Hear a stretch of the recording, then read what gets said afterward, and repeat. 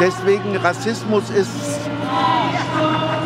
äh, ist ein dummes Ding, was manche Leute meinen, müssten sie haben, was aber Nonsens.